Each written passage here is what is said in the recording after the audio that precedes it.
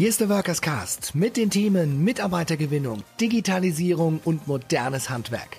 Spannende Handwerksunternehmer, versierte Experten und ich, Jörg Musler. Los geht's.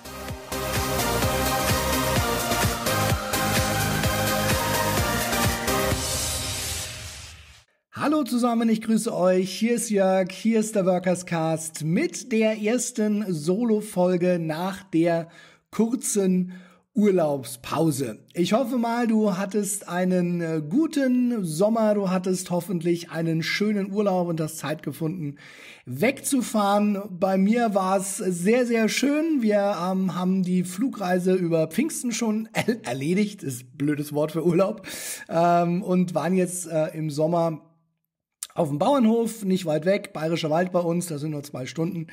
War eine äh, sehr, sehr schöne Woche. Die, die Jungs, also meine beiden Jungs, die hatten da richtig viel Spaß.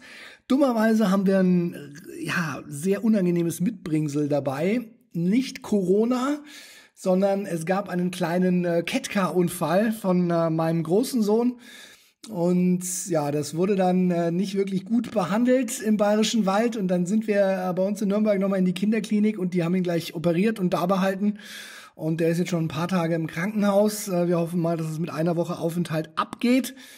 Ähm, denn ja, das, das stürzt uns alle auch so ein bisschen in Schwierigkeiten hier. Wenn du Kinder hast, dann kannst du das höchstwahrscheinlich nachvollziehen. Also die Mama ist äh, bei ihm im Krankenhaus und der Kleine ist bei mir und den habe ich jetzt gerade mal ähm, zur Oma verfrachtet.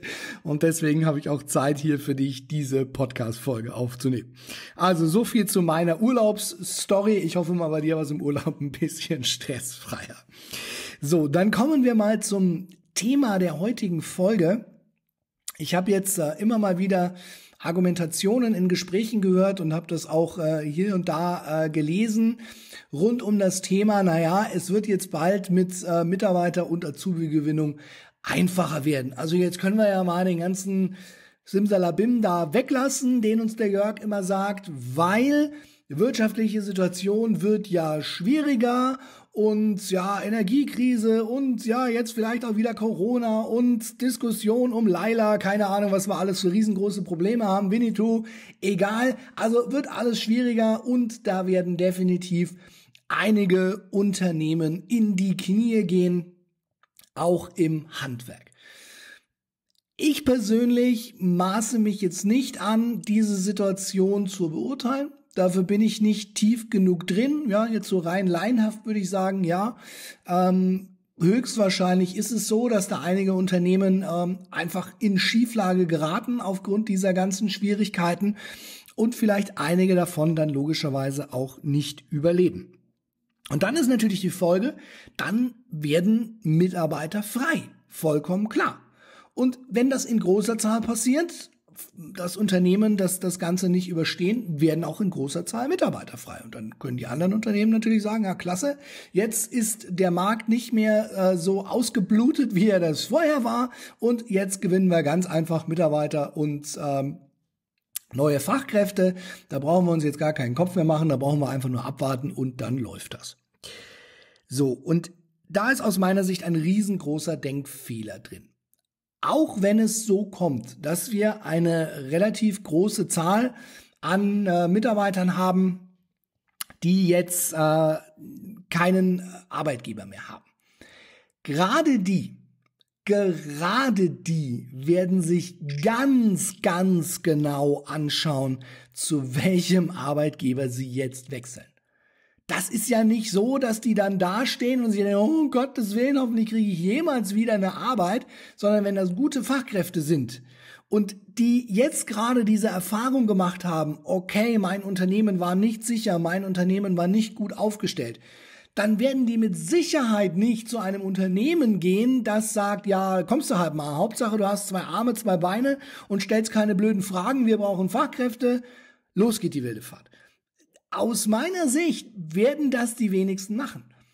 Gerade dann werden sie sich ganz genau anschauen, hey, ist das ein guter Arbeitgeber? Wie sieht das mit dem Chef aus? Ist das ein sicheres Unternehmen? Was machen die für Projekte? Und, und, und.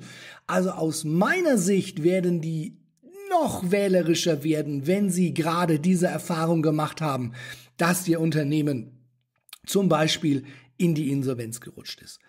Also bitte verfalle nicht diesem Trugschluss, dass du jetzt sagst, ja, komm, das wird sich schon von selbst regeln. Jetzt können wir einfach dieses ganze Zeug mal wieder über die Wupper kippen. Das brauchen wir alles nicht mehr. Ja, Arbeitgeberqualität und Arbeitgebermarke und diesen ganzen Quatsch.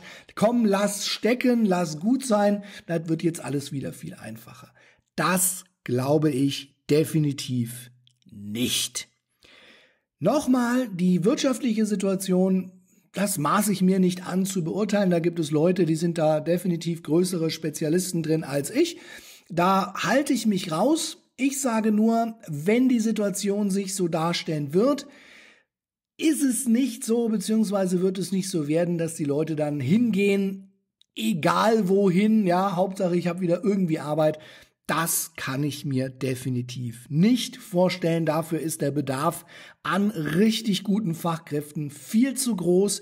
Also verfalle bitte nicht auf diesen Trugschluss, sondern gebe weiter Gas im Sinne deiner Arbeit Gas geben. Ja, das ist im Moment so.